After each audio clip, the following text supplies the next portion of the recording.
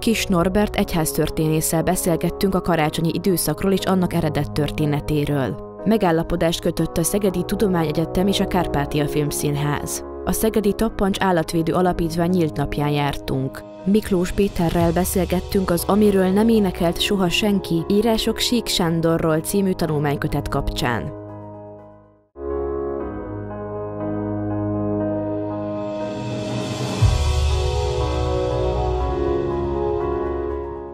Üdvözlöm a kedves nézőket! A karácsony a kereszténység második legnagyobb ünnepe a húsvét után, amelyel Isten fia Jézus Krisztus földi születésére emlékeznek.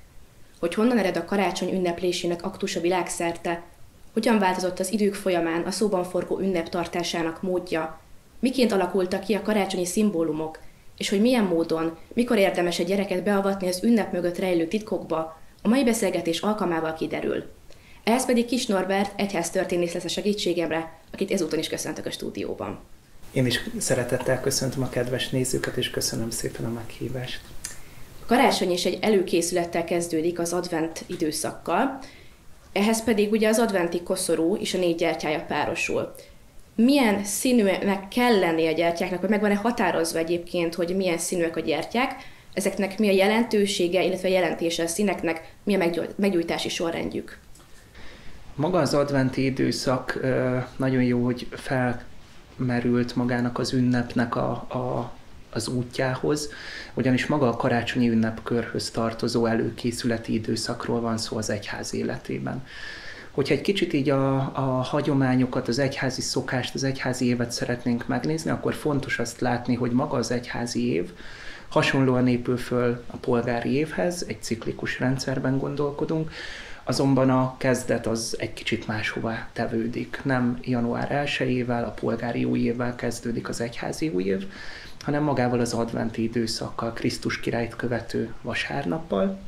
És ez az adventi időszak a négy gyertya szimbólumával egy négy hetes útra ö, hív meg bennünket.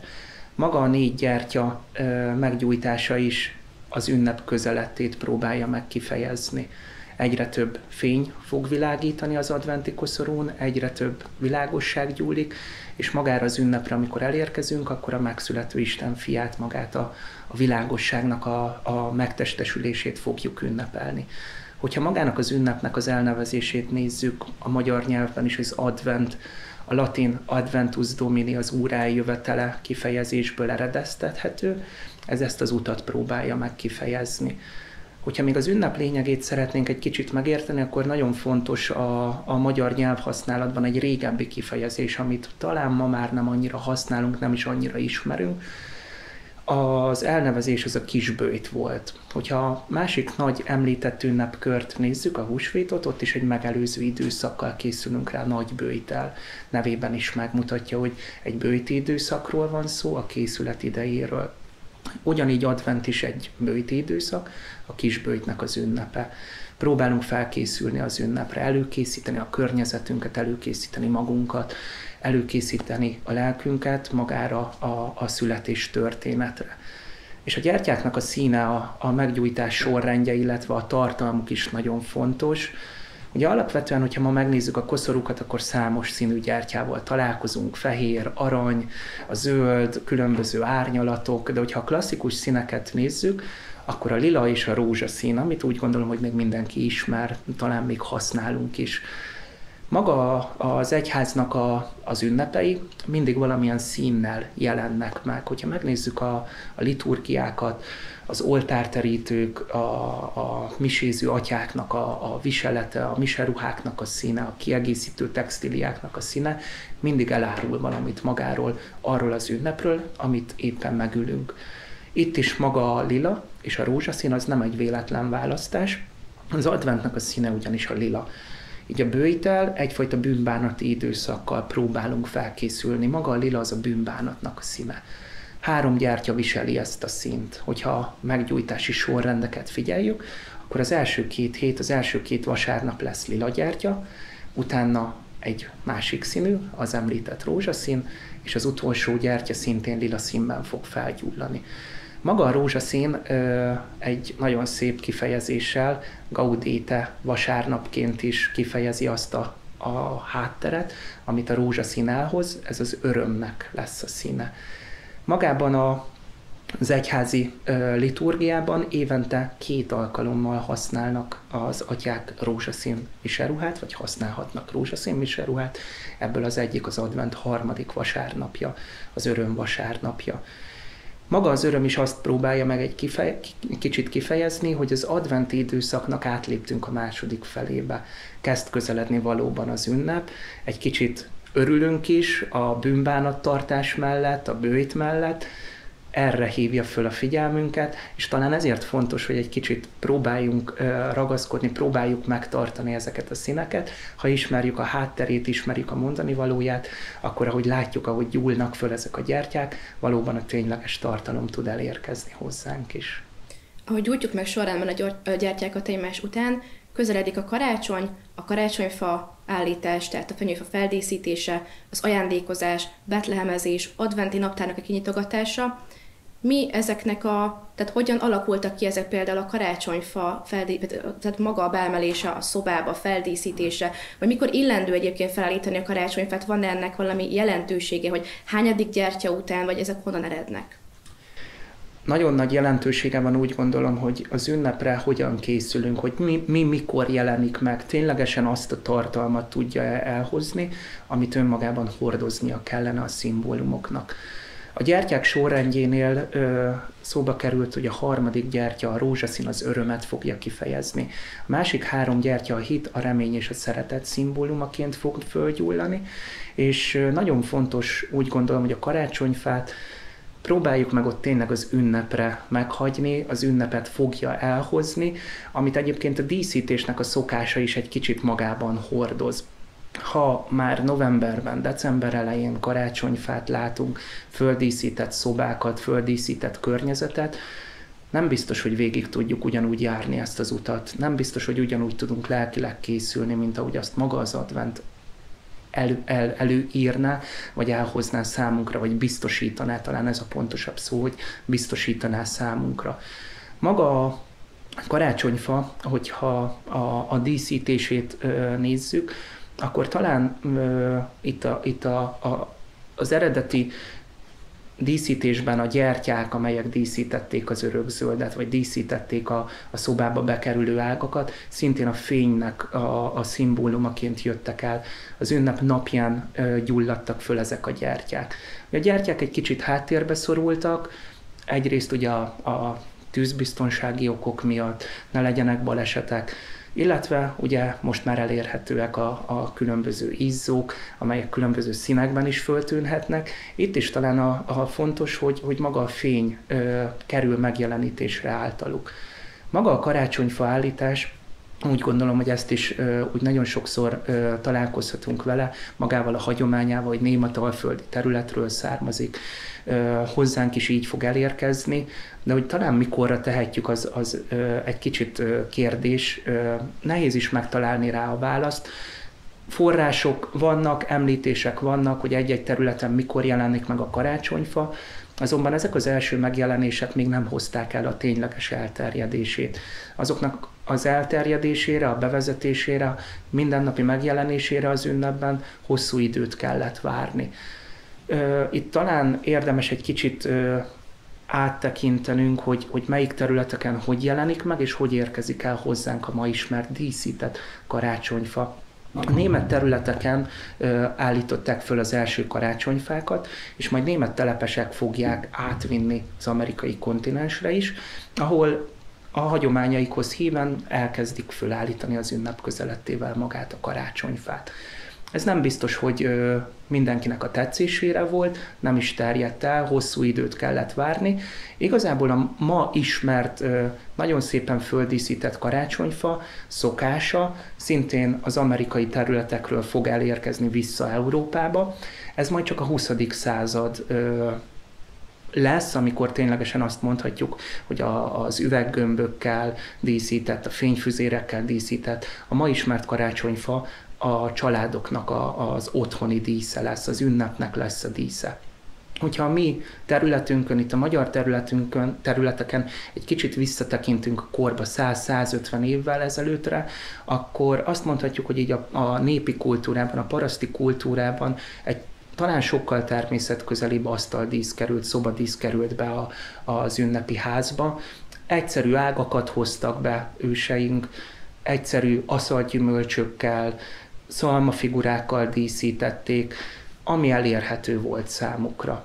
Nagyon sokszor a történelemben, hogyha olyan háborús időszakokat éltek a közösségek, amikor nem volt megengedhető, mégis próbálták a, az ünnepet valahogy ünnepi tenni. Ez nagyon sokszor egy örökzöld ágnak a behozatalát jelentette. Azok a termények is megjelentek a fa körül, díszített ágak körül az asztalon, amelyek elérhetőek voltak ebben az időszakban akár a dió, a szárított gyümölcsök, a méznek az oda kerülése. Ugye ma is ez egy kicsit ö, háttérbe szorul azáltal, hogy gyakorlatilag mindent el tudunk érni, minden hozzáférhető, bármikor bármit megvásárolhatunk, oda tudjuk tenni az asztalunkra, oda tudjuk tenni a díszített fa mellé. Szóba került egy kicsit az adventi ö, koszorú mellett a várakozásnak az idejéhez az adventi naptár. Egy nagyon szép ö, ö, szimbóluma, szintén ennek az úton levésnek, az úton járásnak, hogy a gyerekek egy-egy kis ablakot kinyitva egy-egy édességhez jutnak, várják, hogy mikor kell föl a nap, mikor nyithatják ki ezt az ablakot. Talán itt is a lényeg, a háttér az lehet, hogy, hogy ezen az úton járunk. Ennek van egy másik megélt formája is, amikor a családok készülnek. Talán így egyre jobban újra előtérbe kerül, az ablakaikat feldíszítve, a családok egy-egy napot vállalva, egy-egy gondolatot próbálnak a környezetünkben megjeleníteni, egy nagyon szép hagyomány, úgy gondolom, ami szintén az ünnepre való készületünket segítheti.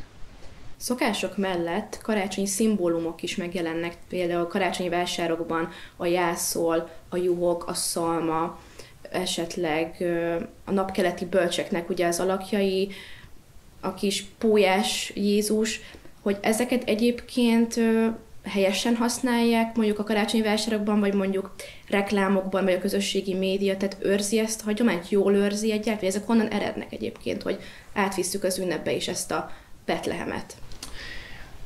Pont egy ö, olyan évet írunk, ami a Betlehem állításnak egy évfordulója is. Ha magát a karácsonyi ünnepkört nézzük, akkor magának Krisztusnak, a megváltónak a megszületése, mondhatjuk, hogy egy 2000 éves ünnep valóban történelmi eseményről van szó. A megünneplésére azonban, illetve az időpont kijelölésére várni kellett.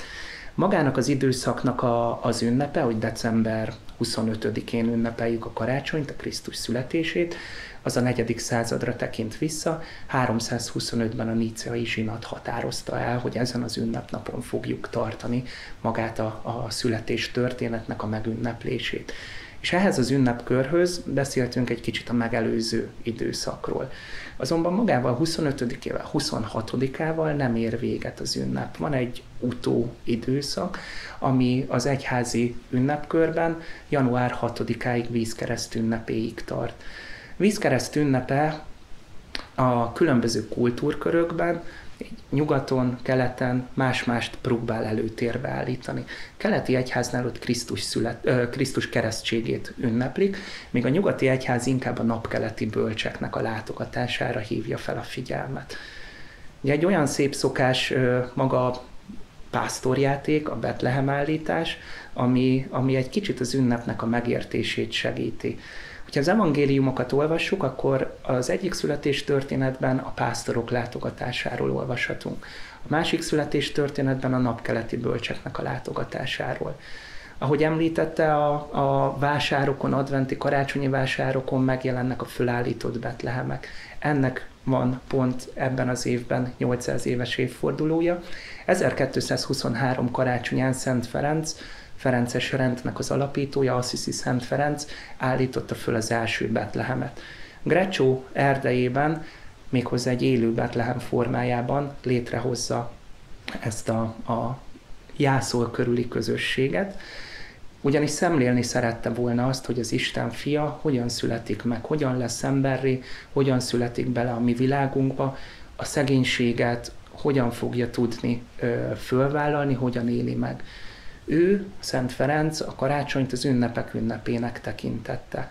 És ezt az ünnepet szerette volna megismertetni az ő közösségével, a körülötte élőkkel. Így ott Grecsó városában megkérte az embereket, hogy mindenki hozza el az állatait, díszítsék fel a jászlat, készítsék el a Betlehemet, ők szerepeljenek, mint a szemtanúk, Krisztus születésének szemtanúi, Mária, József, a pásztorok személyét elevenítsék meg, és ezzel a játékkal, idézőjeles játékkal magát a születés történetet kézzel fogható közelségbe hozzák. Ennek hagyománya Olaszországban egy nagyon nagy ö, múltra tekint így vissza. Számos nagyvárosban, főként Nápoly környékén rengeteg, nagyon szép, gyönyörű Betlehem kerül fölállításra. Ez itt nálunk is megtapasztalható. És úgy gondolom, hogy tényleg egy jó szokás és, és szép példa, hogy ezekben a vásárokban ez a, a Betlehem állítás ez megjelenik. Ehhez kötődő szintén hagyomány, hogy a fiatalok a szemtanuknak a szerepét betöltve házról házra jártak. Talán járnak még ma is egyes területeken.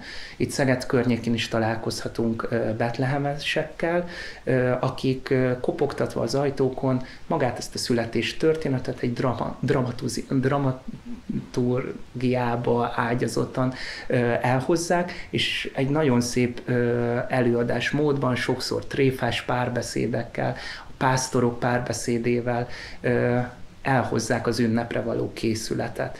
Ugyanígy nagyon szép szokás, hogy a templomokban is 24-én Szenteste megelőző, Szentestét megelőző délután előadásra kerül maga a pásztorjáték. Itt már a tényleges ünnepnek a megélése figyelhető meg. Úgyhogy úgy gondolom, hogy ez egy, egy nagyon szép és egy tényleges tartalmat hordozó hagyomány, amihez ragaszkodnunk is kell, úgy gondolom. Többször is megemlítettük a gyerekeket már az adventi kalendárium kapcsán, illetve az előbb a Betlehem játékok kapcsán. Hogyan érdemes egy kisgyermeket bevezetni a titokba, hogy nem a Jézuska, vagy más területeken angyalka, megint más területeken a télapóval, a napkeleti bölcsek, tehát ez nyilván más területeken, de területenként változik.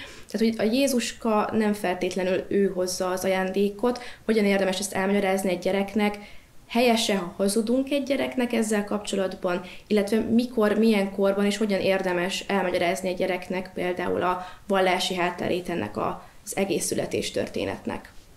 Hát a kérdés talán, vagy a kérdés megválaszolását onnan kezdeném, hogy semmiképpen sem helyes, hogyha hazudunk nekik, be kell őket vezetni, úgy érzem, ebbe a titokba, a titoknak a, a megélésébe.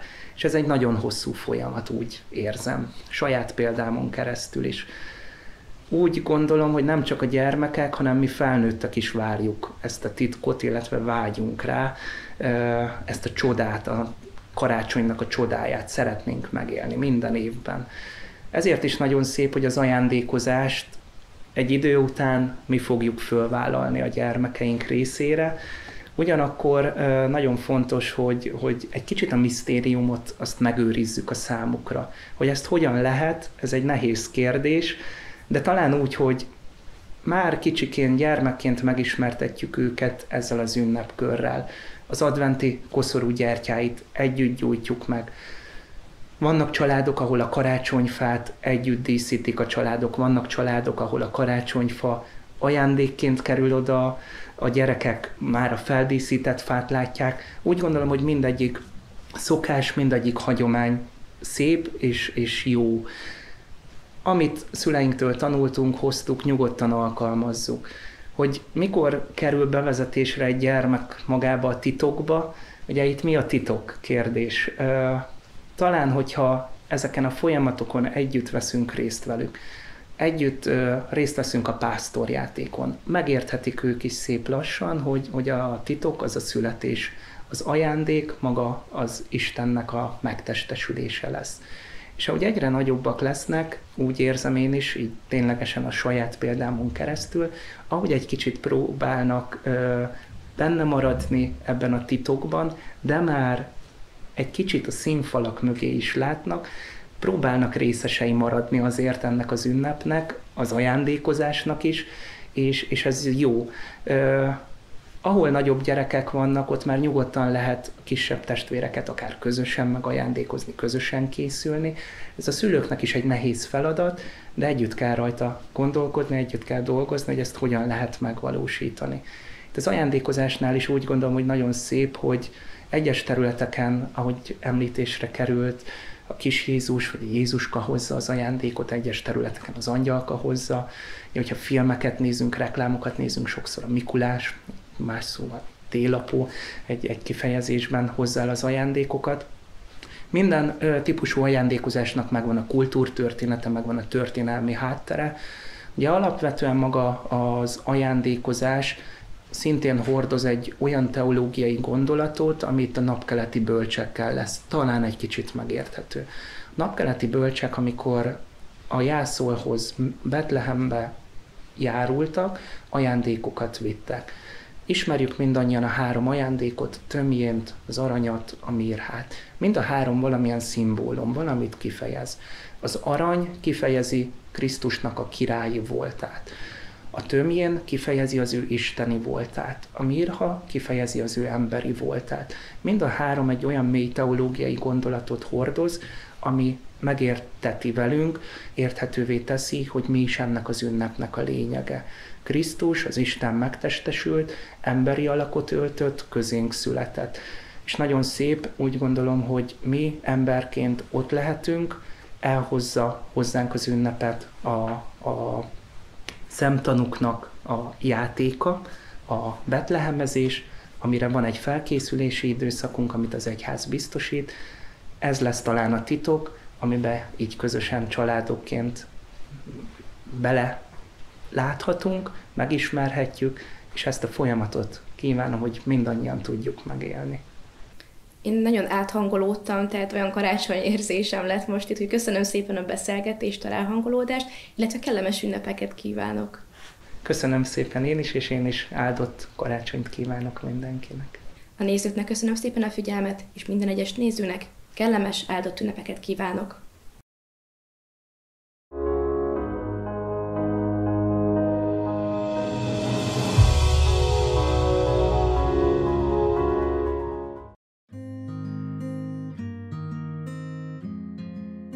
Ünnepélyes keretek között kötött megállapodást a Szegedi Tudományegyetem és a Kárpátia Filmszínház a Szegedi Délvidékházban. A megnyitó ünnepségen dr. Maruzsa Zoltán köznevelésért felelős államtitkár és KL Csaba a mozgóképipar fejlesztéséért felelős kormánybiztos mondott köszöntőt. Az emelkedett hangulatért a Dunakeszi Szimfonikus Zenekar kamarazenekara felelt. Egy sajtótájékoztatóval egybekötött, gyakorlati gesztus részesei lehettek az érdeklődők, amely során az egyetem oldaláról professzor dr. Gelling Klára, az STR rektor helyettese, valamint valamint a Kárpátia Filmszínház részéről dr. Szabó Pál Csaba, a Délvidékház ügyvezető igazgatója írták alá megállapodást. Azt gondolom, hogy nagyon fontos, hogy egészen általános iskoláskortól az egyetemisták világáig megtanítsuk történetet mesélni. A fiatalokat, az egyetemistákat, és amikor először még a szövegértés, a történeteknek a megértése kerül a fókuszba, akkor azt gondolom, hogy a Kárpátia Filmszínház egy nagyon-nagyon jó eszköz lehet nekünk, és amikor már ott tartunk, hogy ők maguk is tudnak majd, mint egyetemisták,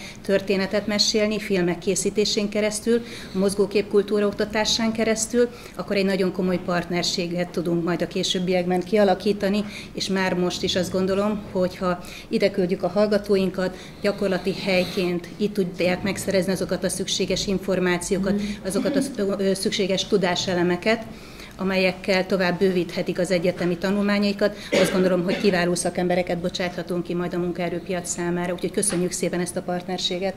Filmtörténeti képzés Délvidékházba telepítéséről konkrétan szó van, ahol a képzés mellé nagyon sok csatlakozó kulturális kínálati elemet ide tudunk telepíteni. Tehát az egyetemista, aki ugye ö, ö, alaphelyzetben is igényli azt a kulturális sokszínűséget, ami, amit mi már 30 fölött lehet, hogy újra és újra át kell, hogy ismételjünk. Ezt úgy néz ki, hogy a ház tudja biztosítani. Úgyhogy ezt a fajta szerves, újra szervesítése a filmnek, és ami a film körül van, vagy újra vitalizálása annak a helyzetnek, ami a film és a film nézője között kialakulhat. Ez a, ez a nem kicsi célkitűzésünk. Dr. Döbör András az STA EGPK dékánja beszélt arról, hogy mit jelent a kar számára az együttműködés. Karunkon folyó televíziós műsor készítő képzés hallgatói szeretnénk egy kicsit bevonni a itt zajló munkában, illetve egy lehetőségén tekintünk arra, hogy egy nagyon jó korszerűen felszerelt mozit tudunk a képzésbe bevonni.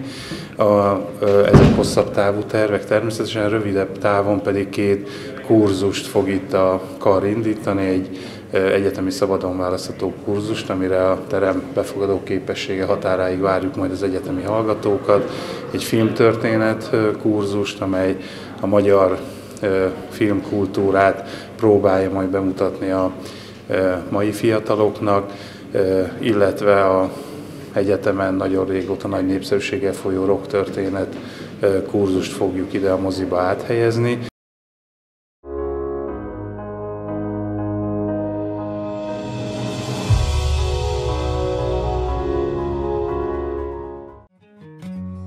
Szegedi Tappancs Állatvédő Alapítvány kutyákkal és macskákkal foglalkozó állatmenhely, amely körülbelül 50 macskának és több mint 100 kutyának ad otthont, mielőtt rátalálnak a megfelelő örökbefogadóra és új állandó lakhelyükre. A menhely dolgozóinak és önkénteseinek nincsen egyszerű dolguk, hiszen amellett, hogy rengeteg állatot kell ellátniuk nap mint nap, rengeteg olyan kis kedvenc található itt, amely etetése körülményesebb, hiszen az állatoknál is léteznek különféle ételintoleranciák. A tappancsban mindig telt ház van, így az újabban érkező állatok elhelyezése bonyolult, főleg, hogy nem mindegy, hogy milyen jellemű kedvenceket raknak egymás melletti ideiglenes lakhelyre. A tömérdek menhelyi feladat mellett nem sokszor jut idő a látogatók bevonására, ezért a tappancs nyílt napokat szokott tartani, amely alkalmával az állatszeretők betekintést nyerhetnek a menhely mindennapjaiba. Az alapítvány az 2003 óta működik, 2004 óta van ez a menhelyünk, és ugye itt, itt szállásoljuk el azokat a kutyákat, akik ugye gazdára, vagy hát új gazdit keresnek. Maga a nyílt nap egyébként nem tekint vissza annyira nagy régmúltra, mert ugye korábban bármikor ki lehetett jönni a menhelyen, szét lehetett nézni, csak ugye itt kevesen dolgozunk, az érdeklődés meg nagyon nagy, és az volt a probléma, hogy gyakran ugye az állatok ellátásának a rovására tudtuk volna már megmutatni a menhelyet az embereknek, úgyhogy azért szerettünk volna egy ilyen nyílt napot, hogy akkor ki tudnak jönni, szét tudnak nézni, kutyát tudnak simogatni, adományozni tudnak, illetve a kérdéseiket is fel tudják tenni, amire mondjuk esetleg egy hétköznapon nem mindig van lehetőség. Nehéz feladat megtalálni a számunkra megfelelő kis kedvencet, ám az jó kiindulási pont lehet, ha megnézzük, hogy aktív életet folytatunk-e, vagy inkább nem részesítjük előnyben a sportos életmódot. Fontos tisztáznunk magunkban, hogy miért szeretnénk állatot tartani. Nagyon sokan ugye azért viszik el a kis állatot, mert mondjuk csalódtak az emberben, vagy azért, hogy a magányukat enyhíthessék, tehát a, a, tényleg az állatok egyébként nagyon sok embernek például gyerekpótlékot jelentenek, tehát van, van, aki azért viszi, mert például szeret sportolni, és egy sportosabb kutyát szeretne választani, kiváló kutyás sportok vannak, és van, aki ugye abba szeretne kiteljesedni, tehát ez, ez nyilván ez mind ilyen hobbi állattartás, tehát először ugye nekünk kell mérlegelni, hogy mi az, amit szeretnénk, szeretnénk, tehát hogyha mi sportosabbak vagyunk, akkor nem érdemes egy francia buldogot választani, illetve hogyha, hanem akkor nyilván egy ilyen malinois jellegű kutyát, vagy mondjuk, hogyha kutyás sportra szeretnénk használni, akkor ugye nyilván olyan kutyákat, akik erre alkalmasak, mert egy francia buldog, vagy például egy ilyen kis csivava, az nem biztos, hogy alkalmas rá. Tehát ez a kutyának is függvénye, hogy milyen kutyát választunk. Ugye menhelyi keverék kutyák közül is nagyon sok olyan kutya van, aki, aki nagyon szeret sportolni, meg nagyon kiválóan tanul, érdeklődő, csak hát ugye meg kell találni a megfelelő kutyát, ebben természetesen mi tudunk segíteni. A menhelyre bekerült állatok útja a befogadásig hosszú procedúra. Körülbelül két és fél-három hónap, mire egy kutyának az oltási programja rendeződik, mert ugye itt a kötelező védőoltásokon, védőoltáson kívül ugye mikrocsippet kapnak, a, a fertőző betegségek ellen vakcinázzuk őket, szívféregre szűrjük a kutyákat, illetve a betegeket kezeljük, illetve ugye az ivartalanításon is túlesnek, úgyhogy hát egy körülbelül két és fél-három hónap ez az egész procedúra, mire gazdihoz tudnak kerülni, de ugye az idő alatt kiismerjük a kutyának a jellemét, és akkor neki nekik megfelelő, tehát a kutya személyiségének megfelelő gazdit fogjuk neki kiválasztani. amikor egy ebb vagy egy macska átesett a kötelező védőoltásokon és az ivartalanításon, az örökbefogadható állatok sorába kerül. Ennek folyamatát szemléltette a menhelyvezető, aki azt is elmesélte, hogy hogyan igyekeznek segíteni a kezdőkutyatartóknak.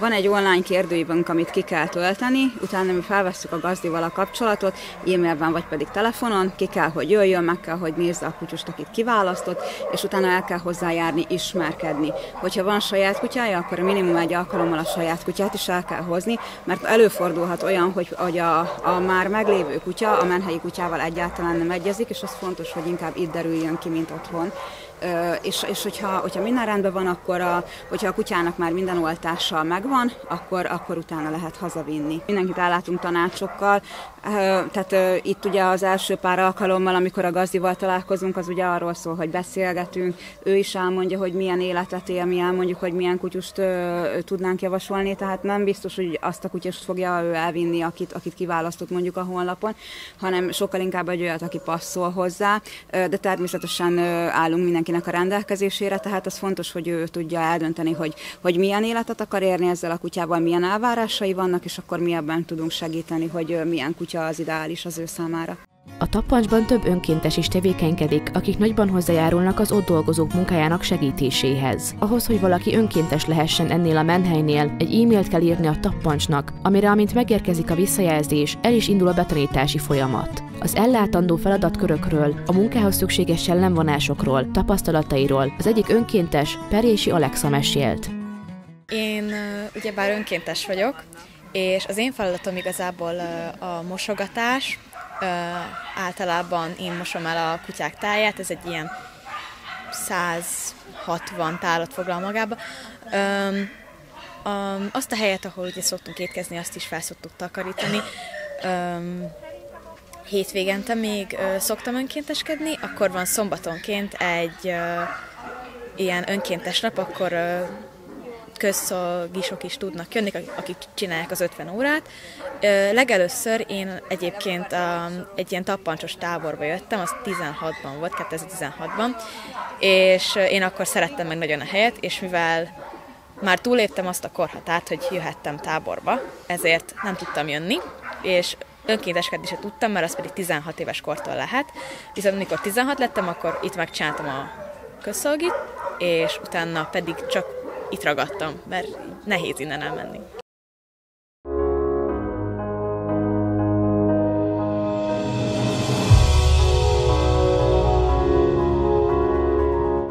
Üdvözlöm a kedves nézőket!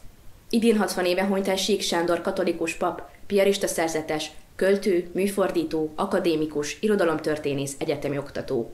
E sokoldalú ember halálának évfordulója alkalmából állt össze az, amiről nem énekel soha senki, Írások Sík Sándorról című tanulmánykötet, melyben hét szerző írása jelennek meg, amelyek valamilyen módon ő hozzá kötődnek. A mai alkalommal e kapcsán a kötet szerkesztőjével, Miklós Péterrel fogok beszélgetni. Mi volt a koncepció, hogyan állt össze a tanulmánykötet? Tehát meg voltak előre az, a szerzők, és utána a téma, vagy előbb a téma és azokhoz lettek szerzők válogatva? a szerzők voltak meg először, és utána kerestünk témákat, illetve kértem fel a szerzőket arra, hogy számukra kedves és Sík Sándorhoz kapcsolódó témákat dolgozzanak föl. Nem előzmény nélküli ez a kötet, és nem előzmény nélküli ez a konferencia, amelynek az írásos anyagát vehetjük kézbe, amikor ezt a könyvet megnézegetjük. Hiszen már jó húsz éve működik a Radnóti Szegedi Öröksége Alapítvány, amelynek én a titkáraként tevékenykedek, és először Rodnóti születésének centenáriumán 2009-ben adtunk egy tanulmánykötetet, Surramba kell most élned itt címmel, Radnóti Miklós elsősorban Szegedi világáról.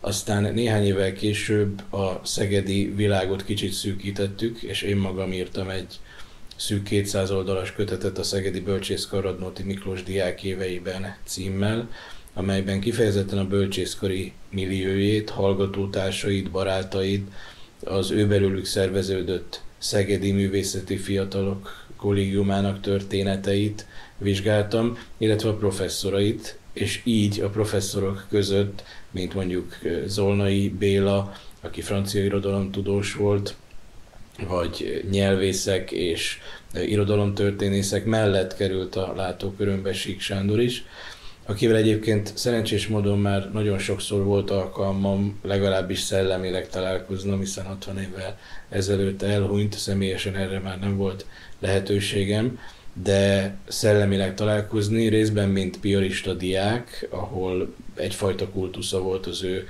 irodalomtörténészi, spirituális és költői, műfordítói eh, tevékenységének, munkásságának, másrészt pedig Radnóti kutatásaim kapcsán nagyon sokszor előkerült Sík Sándor neve, és ezért is döntöttünk úgy az alapítvány kuratóriumával, hogy Sík Sándorral is, mint Radnóti Szegedi szellemi környezetének talán legmeghatározóbb alakjával is foglalkozunk. És már tíz évvel ezelőtt, ezt azért mondom, hogy már mert néha az ember meglepődik, hogy tíz év vagy húsz év milyen gyorsan eltelik az ember életében, tíz évvel ezelőtt hasonló körülmények között, akkor a Nemzeti Együttműködési Alaptámogatásával rendeztünk egy konferenciát, és megjelent abból Sík Sándor eszmekörei címmel egy kötet. Annak jóval több szerzője volt, mint ennek, hiszen ez egy alig száz oldalas kiadvány, az pedig egy közel 300 oldalas kiadvány volt. Mi ennek az oka? Nem csak az, hogy papírínséges időkben vagyunk, és egy Covid-tól, háborútól terhelt időszakban, amikor a kultúrára, a művészetre, a tudományra jóval kevesebb forrás, és akár jóval kevesebb érdeklődés vagy akarat is jut, mint úgymond a boldog békeidőkben, hanem azért is, mert azon szerzőknek a jelentős része, akik Sík Sándorral foglalkoztak, irodalomtörténészek, vagy akár személyes ismerősei, tanítványai, már nem élnek. A tíz évvel ezelőtti konferenciánknak és kötetünknek közreműködője volt például Péter László, Szegedváros díszpolgára, irodalomtörténész professzor, aki személyesen is kapcsolatban volt Sík Sándorral, vagy Rónai László, aki önálló monográfiát írt róla, ő is elhunyt már az ELTE professzoraként tevékenykedett, és a katolikus irodalom, 20. századi katolikus irodalom egyik legjobb ismerője volt vagy Pomogács Béla, aki Radnóti Miklósnak első monográfusa volt 1969-ben, és sík szövegeket is rendezett sajtó alá, szintén nincs már köztünk. Mondhatjuk, hogy a mai inkább irodalom művelődés történettel foglalkozó kutatók középgenerációja az, amelyik talán még úgy, ahogy Radnótival vagy Sík Sándorral foglalkozik, de a fiatalok körében eh, kevésbé aktuális vagy érvényes kutatási téma. Úgyhogy a megmaradt eh, kollégáinkkal döntöttünk úgy, hogy a 60. évfordulón is egyéb tevékenységek mellett, hiszen azért eh, koszorúzás, népszerűsítő cikkek megjelentetése folyóiratokban, illetve országos napilapban egyaránt része volt ennek az alapítványunk által és személy szerint általam szervezett megemlékezésnek vagy annak a megemlékezés sorozatnak, és ennek egyik eleme volt ez a kötet. Felkerestem azokat a kollégáimat Szegeden és nem Szegeden, akik tudom, hogy Sík Sándorral foglalkoznak, és hajlandóak is, és az érdeklődési körükbe is, a tudományos pályájukba is beleillik egy ilyen jellegű konferencia előadás vagy publikáció, és épp ezért kértem fel a szerzőket, hogy Sík Sándorról, vagy akár tágabban az ő általa értelmezett irodalmi hagyományról, ami nagyon messzire visz, és most nem akarok egyelőre részletekbe bocsátkozni, de annak a világáról fejtsék ki a gondolataikat, és így kértem fel a szerzőket.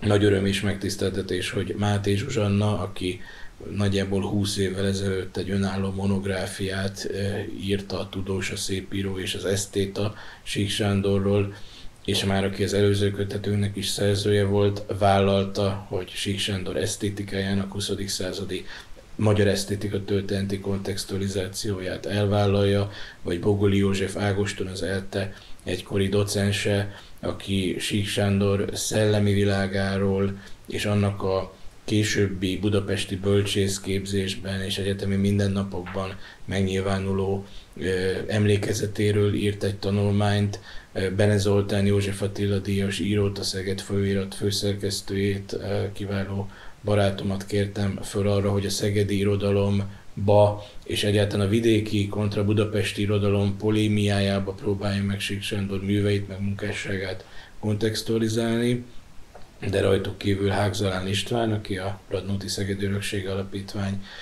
elnöke és a Szegedi Tudományegyetem Juhász Gyula pedagógus képzőkarának oktatója, szintén olvasható benne tanulmánya Sík és Radnóti Szegedi emlékezetéről. Sármási Zoltán a Pázmány Péter Egyetem doktorandusza, nekem még itt a Szegedi Egyetemen hallgatom, Sütz Antal piarista tartományfőnök és utódja a 40-es és a 60-as évek között szintén piarista tartományfőnökként dolgozó Sík Sándor kapcsolatáról írt, és ugye a Szegedi Tudományegyetem Juhász Gyula pedagógus képzőkara felülreprezentált ebben a kötetben szerencsés módon, hiszen rajtam kívül a már említett Máté Zsuzsanna professzorasszony, Hágzalán István és Fizel Natasa intézetvezető docens asszony is szerepel a kötetben, akinek a tanulmányát azért emelném ki, mert nagyon keveset beszélünk Sík Sándorról, mint egyetemi oktatóról, sőt Sík Sándorról, mint népszerű egyetemi oktatóról, hiszen akkor a hallgatói véleményezés még nem volt olyan formában jelen, mint napjainkban, hogy mindig küldjük az emlékeztetőt, hogy értékelje a hallgató az oktatói munkát online felületeken, hanem a következő fél évben, hogyha a hallgatók száma növekedett, vagy nagyszámú egyetemi polgár vette fel az óráját, az valahogy a népszerűségét jelezte, és, és Fizel Natasza tanárnő kimutatta maga tanulmányában, hogy a legnépszerűbb oktatók köré tartozott az 1930-as években, hiszen 1929 és 1946, gyakorlatilag 44 között volt a Szegedi Tudományegyetem irodalomtörténész professzor a Sík Sándor, tehát esztétika történet, visszaemlékezések, egyházi kapcsolattörténet, recepció történet, hiszen én magam az összegyűjtött verseinek a korabeli kritikájáról írtam, és, és neveléstörténet vagy történeti pedagógia egyaránt előkerül ebbe a kötetbe, és azt gondolom, hogy ez a nagyon sokféle szemléletmód, és ez a nagyon sok területről, hiszen filozófia, irodalomtörténet, művelődéstörténet és neveléstörténet egyaránt előkerül ebbe a kötetbe.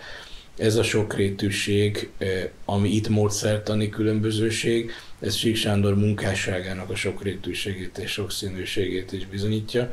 Úgyhogy az én hitem meg reményeim szerint ez a könyv és az ehhez kapcsolódó konferencia, mind a kettő a Magyar Művészeti Akadémia támogatásával valósult meg, igazolja azt, hogy Sík Sándor sokszínű, nagyon sokféle karakter volt, és hogy azzal, hogy Radnóti Miklós mentora volt, hogy József Attila egyik első méltatója volt, hogy a Szeged Egyetem népszerű professzora volt, aki latinból műfordítóként, saját maga is alkotó költőként, és elméleti szakemberként, irodalomtörténészként, aki Zrínyi Miklóssal, Gárdonyi Gézával, Adival, Pázmány Péterrel foglalkozott többek között, valamint művészetfilozófusként, esztétaként is.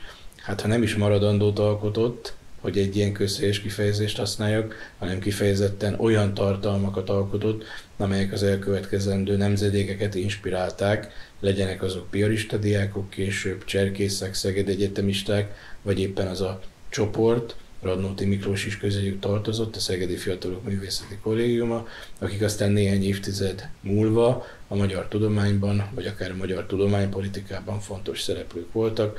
Baróti Dezső, irodalomtörténész, egyetemi tanár és egyetemi 56-os rektora, vagy éppen Ortutai Gyula, aki vallás és közoktatásügyi miniszter volt, és az összehasonlító folklisztikának, a budapesti irányzatának a megteremtője, néprajzkutató professzorként, akadémikusként, Tolnai Gábor, irodalomtörténész, aki szintén a, az államszocializmus korában a tudományos minősítő bizottság elnöke volt, és még lehetne sorolni a neveket ide ebbe a körbe tartoztak, tehát én értelemben világnézettől, tudományterülettől, alapértékektől függetlenül tudott érvényes és hasznos, humánus és európai tartalmakat továbbadni. Azt gondolom, hogy ez egy professzornak alapvetően küldetése Sík Sándor, ezért készült ez a kötet, ezért szerveztük ezt a konferenciát. Sík Sándornak az emlékezete egyébként Szegeden is visszaköszön mondjuk utcanévben, vagy a Sík Sándor Irodalmi Olvasóterem nevében, de például ebben a tanulmánykötetben milyen kontextusban jelenik meg az ő emlékezete? Tehát hogy emlékeztek róla a kortársai, vagy tehát kiknek az emlékezete, megemlékezése került be róla, milyen kontextusban? Én a saját tanulmányomban a 1940-ben megjelent összegyűjtött verseinek a recepció vagy kritika történetét tekintettem át. Négy-öt számomra fontos ö, szerző szövegei mentén, akik közül csak egyet emelnék ki Györgyöt, aki a 20. századi szintén keresztény irodalomnak és a katolikus folyóirat, a Vigília köré tömörülő szerzői körnek volt egy meghatározó tagja, és Sík Sándornak is személyes jó barátja.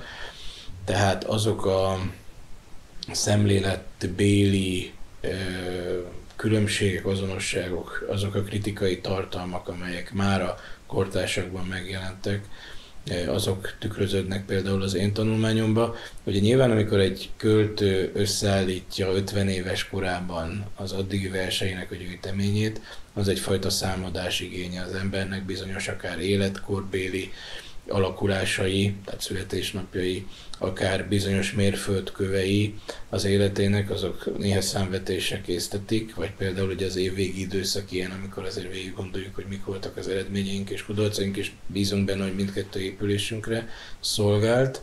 De egy ilyen összegző áttekintő összegyűjtött verseket a kortársak hogyan értelmeztek, és például érdekes, hogy Sík Sándor munkásságát a nyugat, ami a korszak meghatározó irodalmi orgánuma, épp úgy vizsgálta, mint, és ez utóbbi nagyobb számban egyébként, mint a korabeli katolikus vagy keresztény sajtó, tehát katolikus szemlében, vagy éppen a jelenkorban, amelyek akkor a keresztény egyházakhoz kötöttek, azok nagyobb arányban közöltek róla írásokat.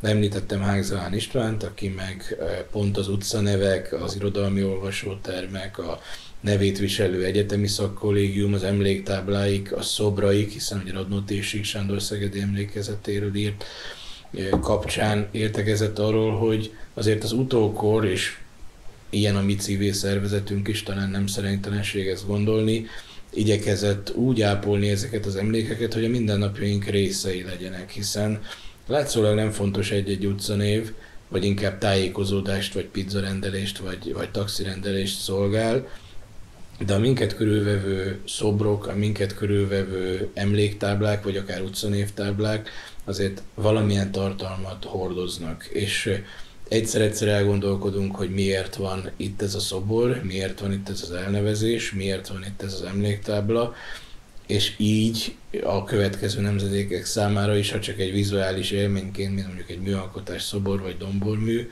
vagy akár egy emléktábla megmarad, és külön a, a vizuális jelek, vagy szemiotikai tartalmak külön tudományát nem ideidézve, de azt azért megállapíthatjuk, hogy ezek az emlékjelek, vagy ezek az események, vagy ezek a kiadványok, ezek azért megadják azt a lehetőséget, hogy mi magunk is emlékezzünk rájuk.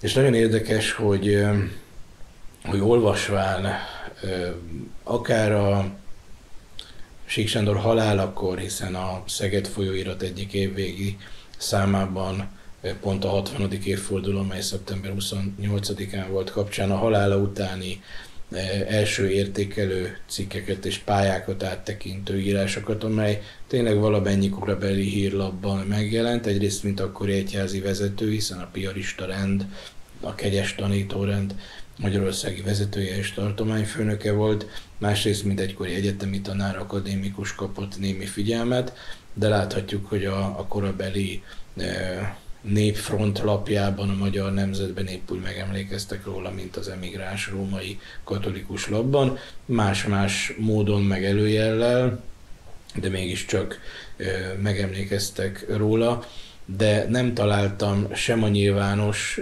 korabeli sajtóban, vagy akár azóta a, a munkásságával kapcsolatos irodalmi feldolgozásokban idézett visszaemlékezésekben sem, meg a nem nyilvánosságnak szánt visszaemlékezésekben sem, mint például a már említett néprajzkutató és művelődés politikus Ortatai Gyula emlékiratai, olyat, aki negatívat írt volna róla nem csak a kötelező állami gesztus, ez mondjuk egy pap, egy professzor, egy irodalomtörténész, egy költő iránt, hanem, hanem egy szubjektív ö, napló jegyzetben vagy töredékben azért az ember megengedhetne bármiféle kritikát, de én nem olvastam Sík Sándorra vonatkozó tartalmakat vizsgálva ilyet, és azt gondolom, hogy ha, ha azt a vaskos háromkötetes esztétikáját, ha az Rínyiről, Pázmányról, Adiról, Prohászkáról, Gárdonyiról, irodalmunk nagyjairól írott monográfiáit nem számítjuk. Ha azt a rengeteg középkori himnuszt, amelyet magyarra fordított a saját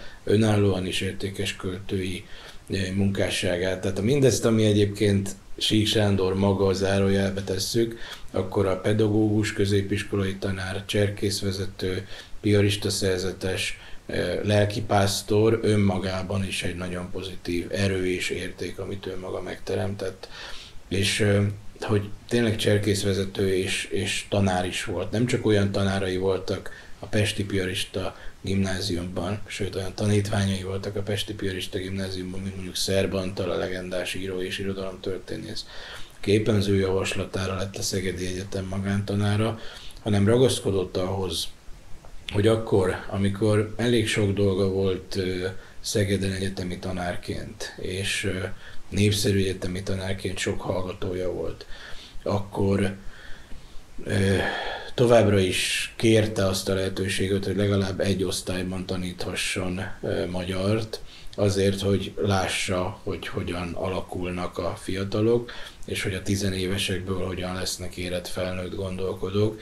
Tehát Szegeden nem csak az egyetemen tanított, hanem a Piarista gimnáziumban is, pont azért, hogy ne veszítse el a kapcsolatát, és mint leendő bölcsészeket és tanárokat képző ember, talán arról, hogy hogyan gondolkodnak aktuálisan a fiatalok, arról is érvényes és, és megalapozott véleménye lehessen. És azt gondolom én magam is, mint egyetemi oktató, és ebben mondhatni, hogy példakép lehet minden egyetemi oktató számára, Sík Sándor, hogy alapvetően egy, egy bizalommal, és azzal a szemlélettel, amit egyébként a Talmud is megfogalmaz, azt keressük a tanítványainkba, hogy mi az, amit tudnak, és ne azt, amit nem. Azt gondolom, hogy vizsgai időszakban ez különösen aktuális, de összességében is egy olyan pedagógusi, mesteri alapállás, amely számunkra követendő lehet. Visszakanyarodni kicsit a költőhöz, Tessék Sándorhoz, mint költőhöz. Szó szerint szeretném idézni, Benne Zoltán ezt írta, egy idézetet írta a tanulmányába Temesi Ferenctől. Magyar írónak lenni sors, szegedi írónak lenni végzet. Ez hogyan határozta meg Sík Sándornak a költészetét, vagy mint vidéki költő, vagy igazából nem is kell idézőjelbe tennem, vidéki költősége, hogyan határozta meg az ő költészetét? Ben Zoltánnak régi problémája a vidéki vagy budapesti költészetnek, a, vagy irodalmi életnek a, az összehasonlítása. Úgy, ahogy az országunk közigazgatása, gazdasága, úgy a kulturális művészeti élete is azért fejnehéz, meg pedig főváros nehéz, ezért vidéken nehezebb akár a művészetben, akár az irodalomban boldogulni. Sík Sándor ugye Gödöllön született, Budapesten szocializálódott, Budapesten élt, meg váltszott, mint paptanár, és amikor Szegedre került, ő az irodalmi életből akkor idézőjelbe szorult ki, de nagyon hamar beilleszkedett és involválódott a szegedi irodalmi életbe. Jelentek meg írásai szegedi vagy Szegedhez kötődő alkotókról, Móra Ferencet, Tömörkény Istvánt és Juhász Gyulát kifejezetten szegedi klasszikusoknak tartotta, róluk tanulmányt írt, és Szegedi Klasszikusok címmel egy nem túl vaskos 40-50 oldalnyi füzetke meg is jelent az ő nev alatt. Ezt egyébként nem ő állította össze, de maga a fogalmat, hogy Szegedi Klasszikusok, és ugye ide sorolta tömörként Mórát és Juhász ő alkotta meg. A kötetet azonban Péter László 1980-as évek végén állította össze, talán 89-ben a halálának a 20. évfordulójára jelentette ezt meg. Tehát a szegedi klasszikusok és a szegedi irodalmi örökség fontos volt számára, és nem csak ezeket vizsgálta, hanem Szegedi éveiben születtek kötetei, amelyek részben Budapesten jelentek meg, de jelentek meg Szegeden is kötetei. A Szegedi Fiatalok Művészeti Kollégiumának kiadásában például az Advent című kötet, amelynek a sajátossága hogy egy modern költői formát, a szavaló kórust, egy meglehetősen, hát nevezzük így konzervatív, de, de legalább arhaikus és a vallások világához kötődő történethez Jézus születésének és az Istenség, a transzcendenssel való találkozásra való várakozásnak az élményét egyszerre jeleníti meg, tehát egy modern és az avantgárdal rokon műfajban egy nagyon konzervatív és nagyon arhaikus keresztény tartalmat jelenített meg. Ez is az ő kísérletező kedvét és nyitottságát bizonyítja egyébként. És nem csak így involválódott az irodalmi életbe, hanem mondjuk Juhász Gyula halálakor, mint a szakma, az irodalmás szakma képviselője, ő mondott beszédet a ravatal mellett, vagy a Dogonics Társaságnak, amely Szeged értelmiségét tömörítette abban az időszakban, ma is működő szervezetről van szó, annak tagja, alelnöke, vezetője lett később, tehát összességében ő ebbe a szegediségbe igyekezett beintegrálódni, de nem volt olyan értelemben szegedi költő vagy vidéki költő, ahogy azt, ha jól értettem benne Zoltán tanulmányát, gondolta, hiszen ő Budapestről átmenetileg került vidékre, ez az átmenetiség mondjuk egy jó 15 éves periódus, de, de ő neki a munkái, a publikációi, azok, azok többnyire budapesti lapokban jelentek meg. Ez egy nagyon sajátosság a Sándor, nagyon erős sajátosság a Sándor munkásságának, hogy ugyanakkor ezek a szegedi irodalmi motivumok, a már említett szerzők, azok hatottak rá, ez kimutatható korábban én ezt megtettem egy tanulmányomban szövegszerűen is, de például éppen Sík Sándornak a személyes hatása erre a szegedi formálódó irodalom élet, irodalmi életre jelentős. Neki volt négy kedvenc tanítványa, eh, Radnóti Miklóssal az élen, Baróti Dezső, Ortotai Gyula és Tolnai Gábor, akik négyen eljártak hozzá teázni a rendház Béli egy ilyen kétszobás kis lakosztálynak nevezhető egysége volt, egy hálószobája és egy dolgozószobája, az utóbbi befogadta azokat, akiket vendégül látott, és te amellett beszélgettek, ezeket a fiúkat formálta, ezek nagy tudósok lettek már a, a 70-es években, Radnóti ugye 44-ben a zsidó üldözésnek áldozatul esve nem, de klasszikus költőnké vált, velük sétáltak, például rendszeresen kimentek tápéra, ami még annyira nem volt összenőve Szegeddel, mint napjainkban, és például tápé neve, vagy a szegedi akár népköltészeti hagyomány, az megjelent a Radnóti költészetében is. Tehát Sík Sándor egy nagyon erőteljesen ható ember volt, aki Radnóti arhaizmusát formálta, hiszen Radnóti arhaizmus értelmezésének három rétege van, ezt szintén még a 2011-es könyvemben áttekintettem. Az egyik az a, az a gyarmati úgynevezett primitív művészet, a francia irodalmi értekezését ebből a témakörből írta szakdolgozatát. A magyar népiség, amivel itt Szegeden és hát részben Sík Sándornak, másrészt Bálint Sándornak köszönhetően ismerkedett meg, hiszen ez a Szegedi Fiatalok Művészeti Kollégium, amelynek Radnóti tagja volt, kiadott egy kis kalendáriumot, amelynek a bizonyos köteteit Bálint Sándor által gyűjtött szegedi népdalokkal és népköltészeti alkotásokkal töltötték ki, tehát egyszerűen kézbe vette és, és hatott rá, de ami miatt mi Radnótit szeretjük, az mégiscsak az ekloga költészete, és a klasszikus metromokra, az időmértékes verselésre, arra a nyelvre, költői nyelvre, és annak a hagyományos formáira szó szerint Sík Sándor tanította meg, aki az időmértékes verselésnek a rejtelmeibe és csodálatos világába bevezette Radnóti Miklóst, és pont ez az a költészet, amely az arhaizmusának egy nagyon erőteljes árnyalata és vonulata, az Sík Sándornak köszönhető. Ennek eredménye az, hogy Radnóti, akinek szintén három kötete jelent meg Szegeden, sem szegedi költő, és Sík Sándor sem szegedi költő, és hogy Bene Zoltán József Attila Díjas íróra utaljak, és az ő írására ebbe a kötetbe, ő sem szegedi író, hiszen, hiszen azt gondolom, hogy a lokalitás az, az egy adottság, ahogy mondjuk Szabó Magda nem debreceni író, vagy Szegeden, nem tudom én, Darvasi László, akinek vannak szegedi gyökerei, vagy Grecson Krisztián, akinek van szegedi korszaka, vagy Szilasi László, aki Szegedről több szövegében is, sőt egy külön kötetben is megemlékezik.